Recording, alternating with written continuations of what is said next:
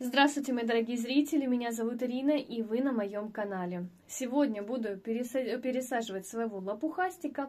Эта орхидея недавно ко мне пришла из посылочки. Посылка, конечно, была очень подмученная, вся помятая, но, слава богу, с орхидейкой все хорошо.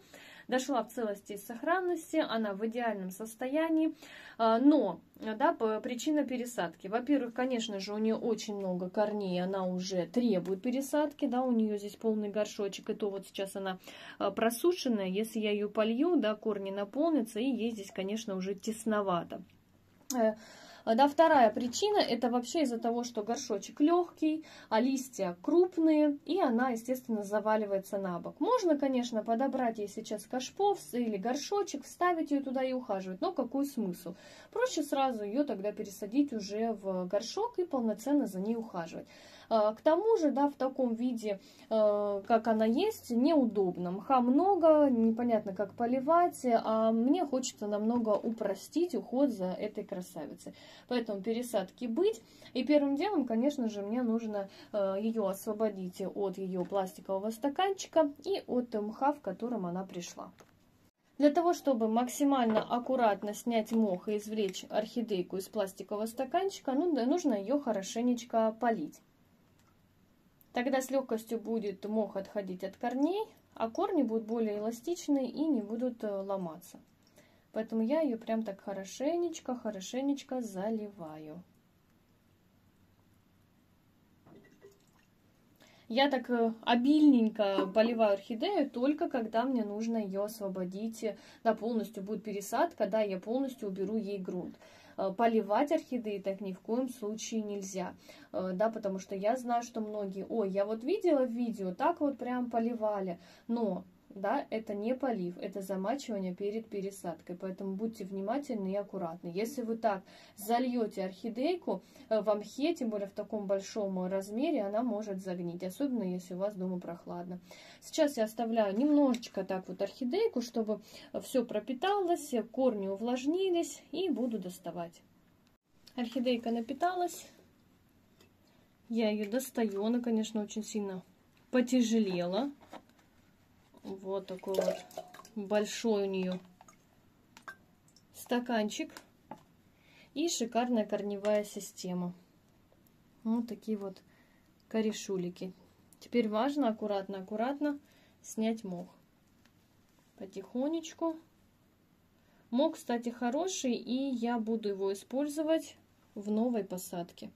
Кстати, посадочка сегодня будет такая вот максимально щадящая для орхидейки. И так я советую пересаживать вам орхидеи, именно азиатские, которые пришли в мхе. Если вы видите, что мох у нее вот такой вот хорошенький, видно, что свеженький, вот, его можно использовать повторно. А если мох имеет неприятный запах, э, какие-то грибы, видно, что на нем какие-то белые точки, много зеленых водорослей, тогда лучше мох э, заменить, да, и взять новый свеженький мох. К тому же здесь, так как эта орхидея, да, получается уже в большом стаканчике, она сначала росла в размере 1,7, потом в 2,5, потом ее уже перевалили, э, да, в троечку. Вот. И получается, что сверху мох, он самый свежий, а внутри уже будет мох похуже. Поэтому я отбираю только сверху. Тот, что идет уже внутри, я его выброшу. А вот сверху он прям такой хороший, волокнистый, я его буду использовать в посадке. Вот так, аккуратненько, аккуратненько. Мох такой хороший, прям длинный-длинный.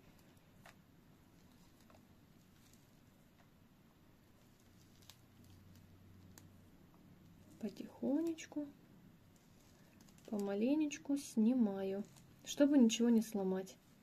Если не травмировать корни, то, конечно же, орхидея очень быстро адаптируется в новом горшочке.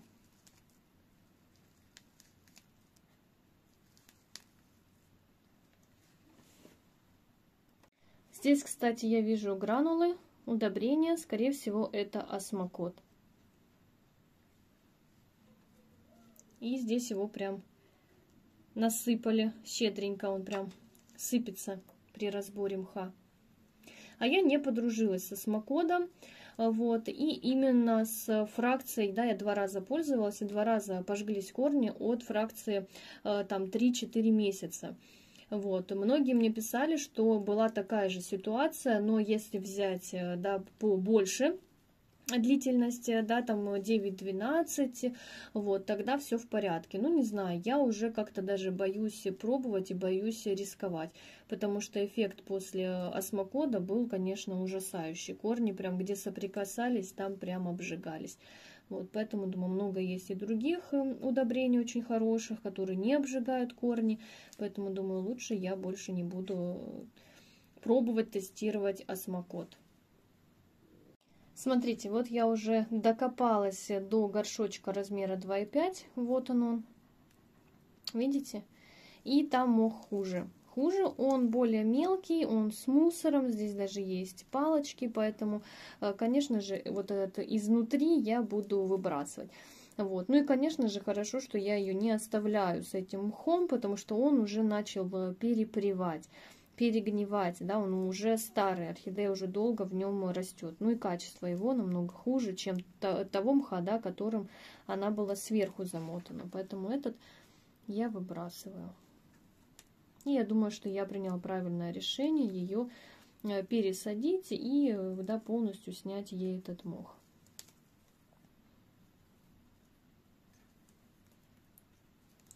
Кстати, а, меня спрашивали, да, по поводу пересадки, во что лучше, когда лучше пересаживать. Вот если орхидейка размера 1,7 пришла к вам в мхе, я советую ее взять, обмотать мхом, точно так же, да, с фагнумом, неважно, живым или, возможно, у вас брикетированный, да, который вы будете размачивать, замотали и в одноразовый стаканчик 500 мл.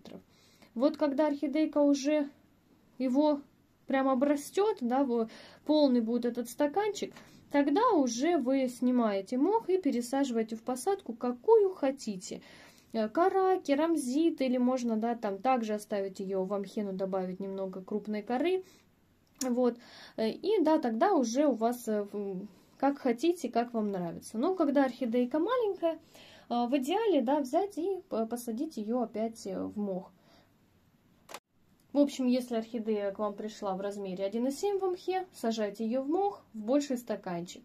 Если у вас орхидея пришла в размере 2,5 с хорошей корневой системой или вообще вот такая гигантская, как у меня, тогда уже можно полностью обобрать мох и посадить ее в ту посадку, которая вам нравится. Думаю, ответила на все вопросы, понятно все, да, и вопросов таких больше не возникнет. Э, все, орхидейка у меня готова к посадке. У нее достаточно длинная шея. Вот, но ничего здесь омолаживать не буду. Она будет пересаживаться со всей своей э, бородой корней, так как она есть. Вот такая вот красотища.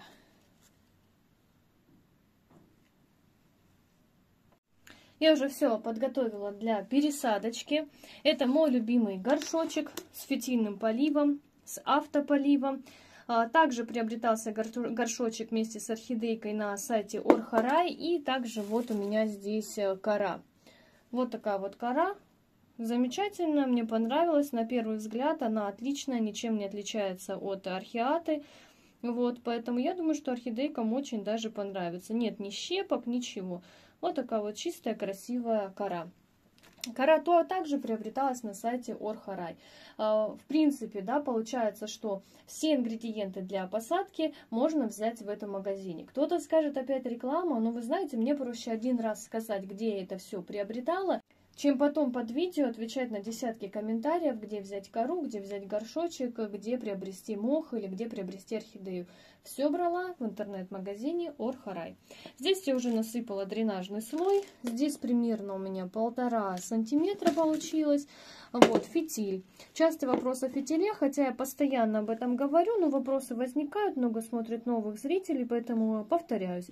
Фитиль должен, да, вот веревочка, которую вы используете, она синтетическая, она должна докасаться прям до донышка. Вот, кончики должны докасаться. Приподнимаем фитиль от грунта. Если фитиль будет лежать вровень с дном, никакого эффекта не будет. Приподнимаем, но так, чтобы э, фитиль не был э, слишком да, высоко, чтобы орхидейки под шейкой не было слишком мокро. Можно фитиль да, вот так вот в бок поставить, чтобы он не находился да, под орхидеей, а немного сбоку. Ну, на, в этом горшочке я обычно делаю вот так, потому что здесь специальное отверстие именно, да, где должен быть фитиль. Поэтому вот таким вот образом он располагается. Дренаж я уже насыпала. Теперь идет первый слой. Это как раз таки тот мох, в котором жила орхидейка. Она с легкостью адаптируется в такой посадке в родном ей мхе. Вот так вот, чуть-чуть, а, прикрывая, собственно, керамзит, капелюшечку. Немножечко коры на донышко. Тоже так, буквально несколько кусочков. Теперь устанавливаю орхидейку. Прекрасный экземпляр. Ставлю, раздвигаю ей корни вот прям вот таким вот образом. Горшочек прям как под нее сделанный. Отлично. Я постараюсь, конечно, ее максимально ровно установить, но мне кажется, это такой сорт, который всегда будет заваливаться на бок, как бы ты ее не выравнивал. Это как Леодора, и другие подобные орхидейки. Так, распределяем. Очень хорошо, чтобы корни потом видны были у стенок. Так я буду определять, когда поливать растение, нравится ей посадочка или нет. Потому что все орхидейки, конечно, индивидуальны. Вот, поэтому может быть такое, что и закапризничает. Хотя в этих горшках у меня ни разу такого не было. Но мало ли. Так, засыпаю корой. Простукиваю. Добавляю немного мха. Распределяю пальчиками. Разворачиваю, придерживаю, потому что она еще не зафиксирована. Засыпаю корой. Простукиваю. Добавляю мха.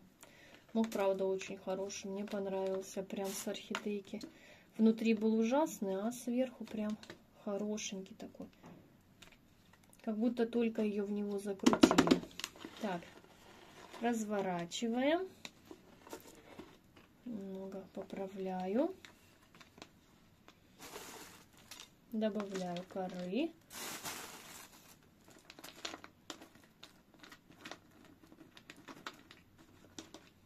смотрю, где пусто. Там досыпаю, вставляю, протрухиваю. Так, вы знаете, мне еще очень хочется добавить ей э, циона. Очень хочется. Мне кажется, что она с ционом будет расти вообще замечательно. И не нужно будет никаких дополнительных ей э, подкормок. И я вот сейчас на этом этапе, пока видно корешочки, ложечку циона вот так вот прям на корни. Обязательно цион должен соприкасаться с корневой системой орхидеи. Еще капельку вот здесь вот. Горшочек большой, и получается, здесь нужно будет примерно 2 столовые ложки. В конце я еще немного добавлю. Вот простукаю, чтобы прям хорошо на корни попал. Продолжаю засыпать.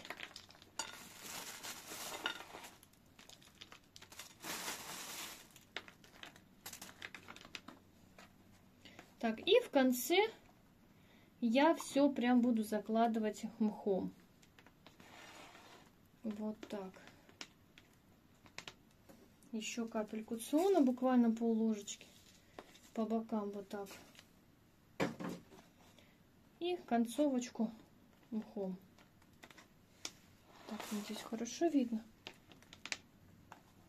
Сверху будет будет играть такое одеялко, роль фиксирования влаги.